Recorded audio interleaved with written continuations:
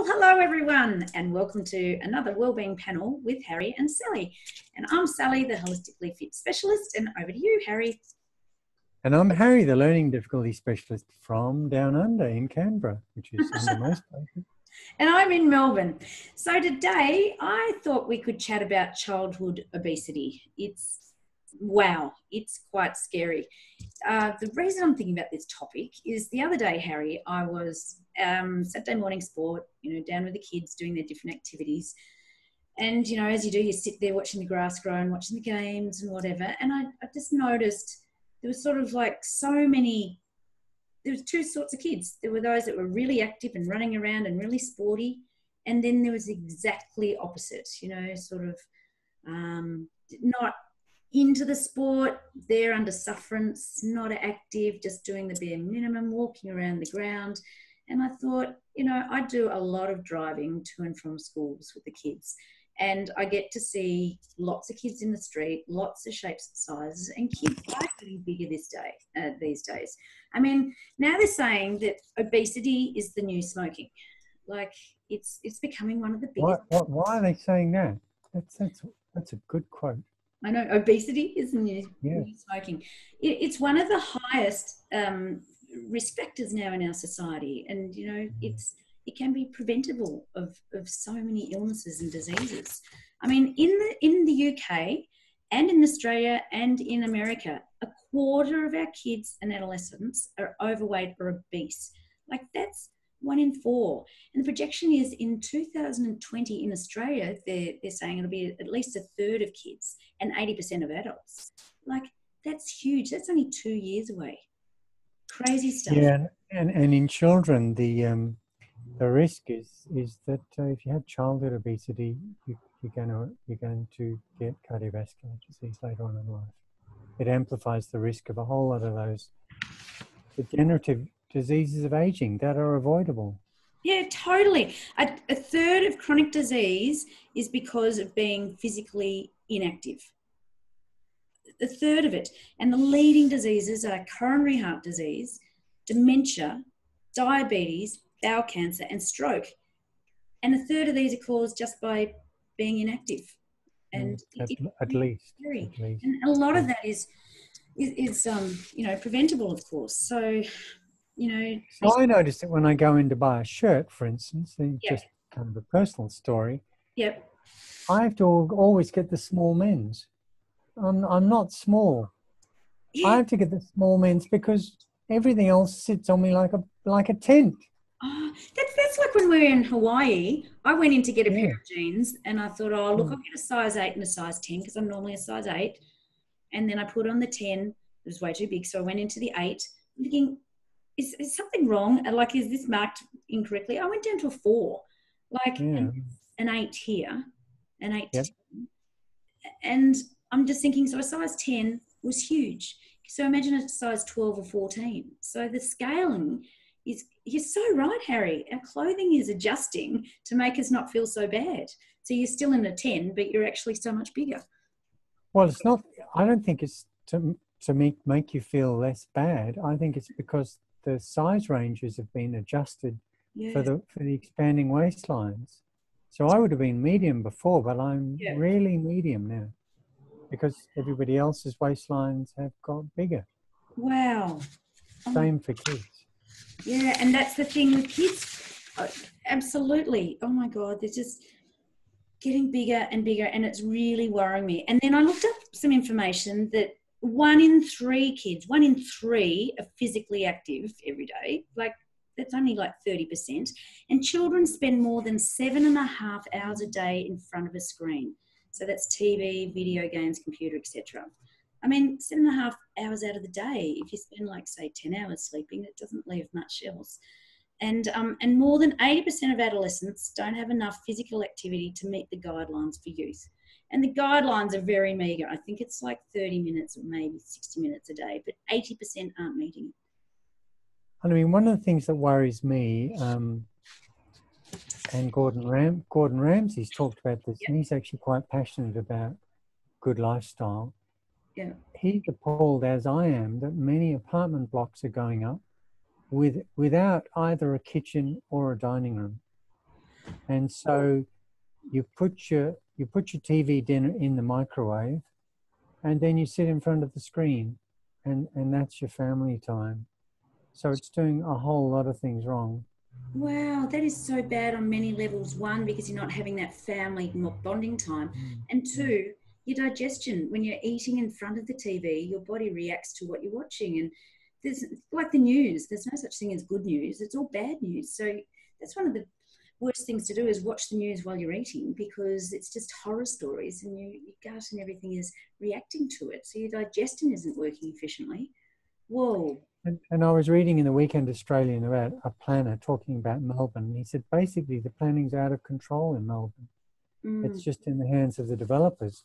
So Yes. a lot of high rises are going up, Yeah. but is there access to outdoor space? Yeah, there are these guidelines for kids, but where are they supposed to play?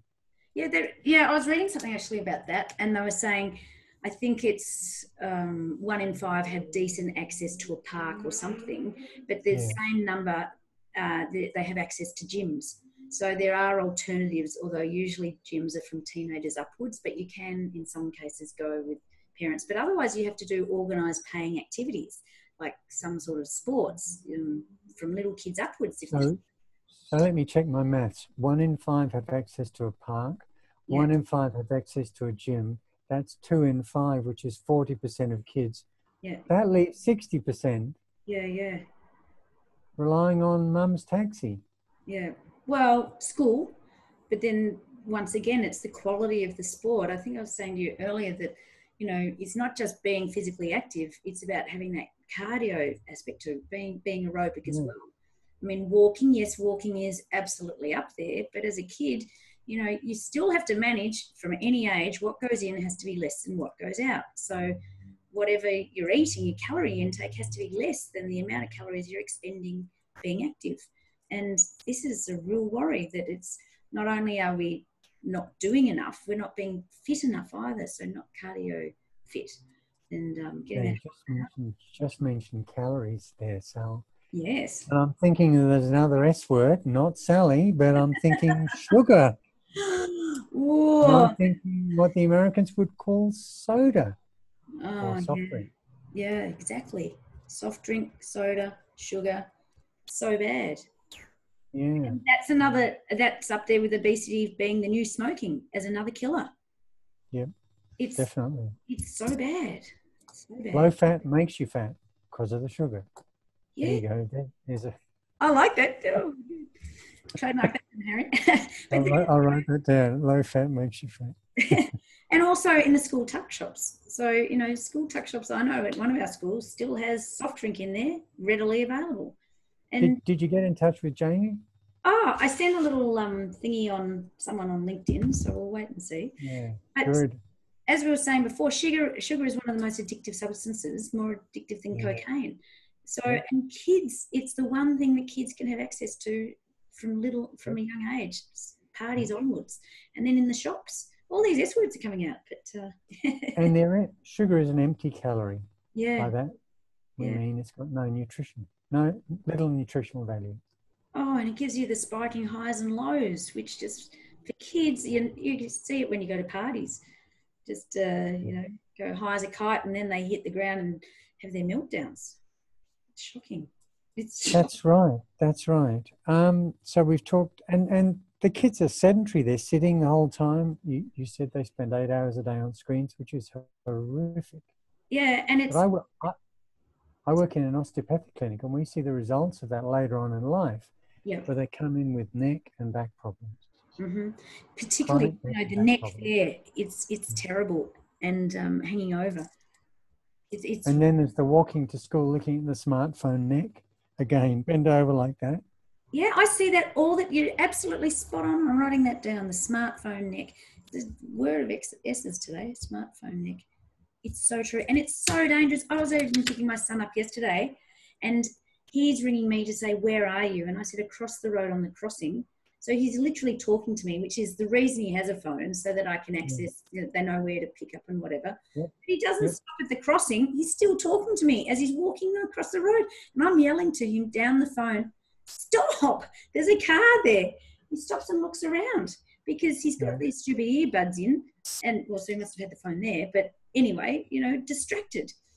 Yeah, yeah. So dangerous. And last year I was taking the kids to school, doing back streets, whatever, and this chick literally walked right in, out in front of me with her earphones in, listening to whatever music or whatever.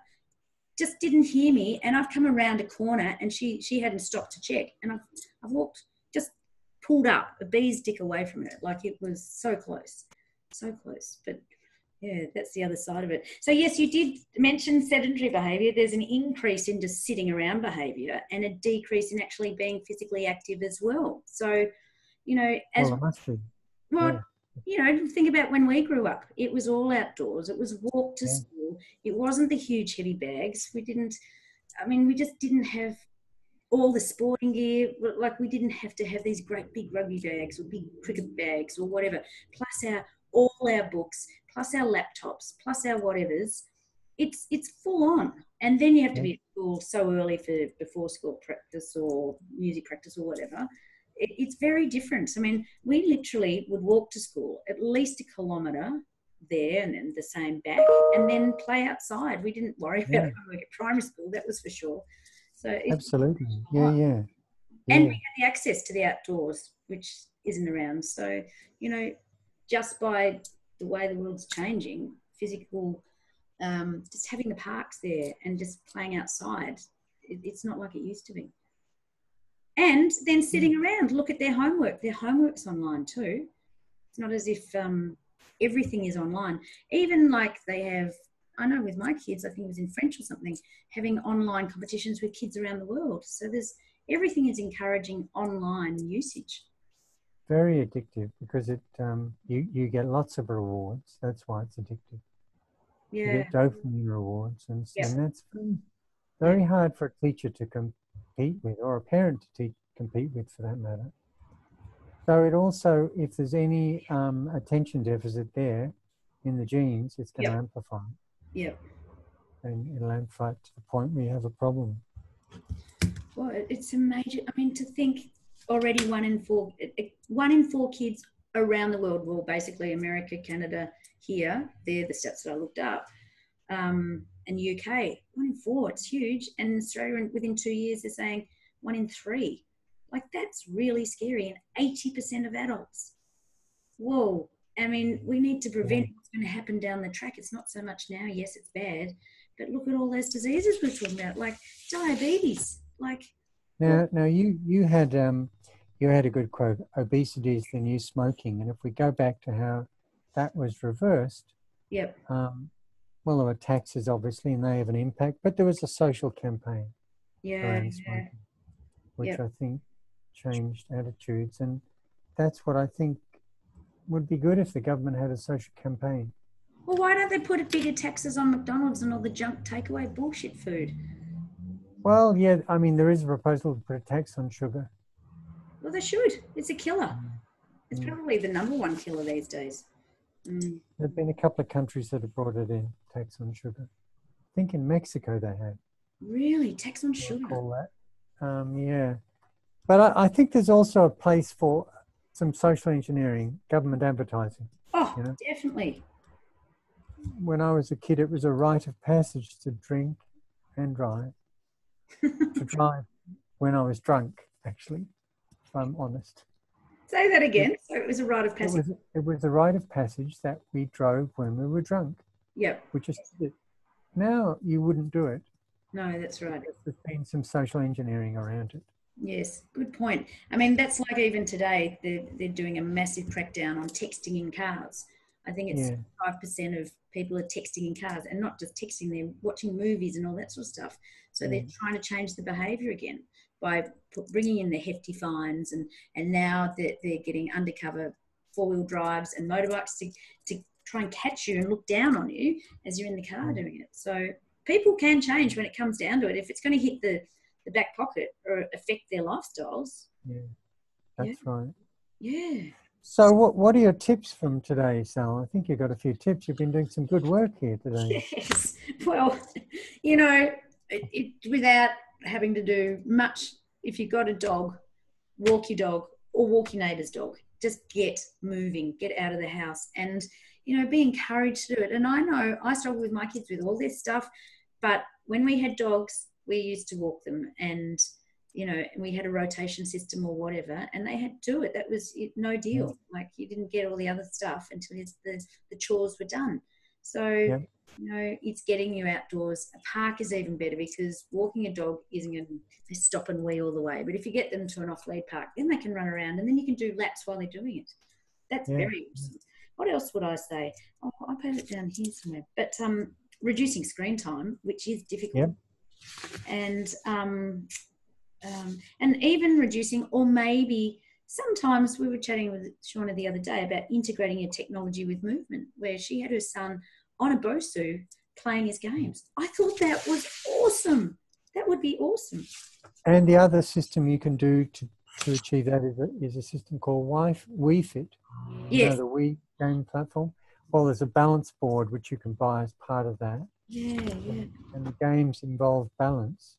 And yeah. balance is is is um, a sensory pathway close to my heart because it, it helps learning.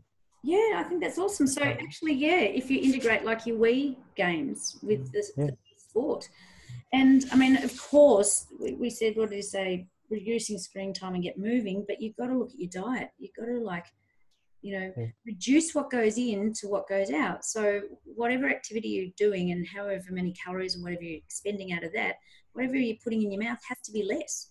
Otherwise, but, but it's but it's interesting. Yeah, you say that. But if you're eating well, yes. I went on this um, I went on this detox diet.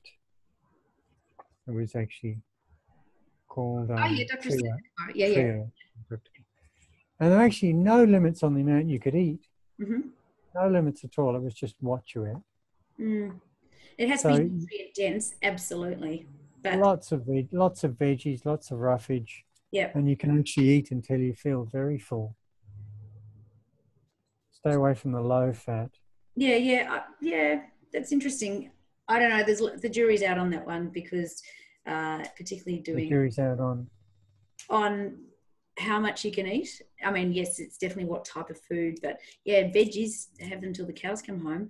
But things like yeah, protein fats, I don't know. That's another discussion. no, no, you don't. You don't need too many. You have to limit protein and fat, yeah. absolutely. Oh, then I'm with you. You can have as many. You can you can eat la. You can eat as much as you want if you've got that roughage there. Yeah, yeah, yeah, totally. You know, just yeah. take the white potatoes out and be careful with the sweet potato. But all the leafy greens have bucket loads of them. Yeah, all that. Brown rice, brown. whole foods. Yeah, yeah, absolutely nothing out of a packet.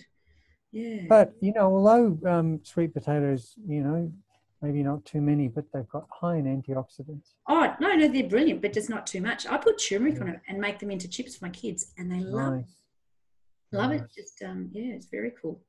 Yeah, but Harry, this is a really interesting topic, and it really needs to be get more focus on it. And as you say, it really needs some social engineering behind it because we are.